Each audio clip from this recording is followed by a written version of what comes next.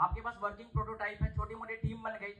कोशिश करो कि have a mentor it can be you know someone founder या जिनको बिज़नेस की बहुत अच्छी एक्सपर्टीज है जिन्होंने बिज़नेस को देखा है आपके seniors have a mentor so क्या होगा? मेंटोर क्या होता है? आपसे 10 20 साल बड़े होते हैं। मे बी उनका जो एक्सपीरियंस होता है ज़िंदगी के बारे में आपकी एक्सपीरियंस स्लाइट डिफरेंट होता है। तो वो आपको ना बहुत ही कंस्ट्रक्टिव क्रिटिसिज्म भी दे सकते हैं और कंस्ट्रक्टिव गाइडेंस भी दे सकते हैं।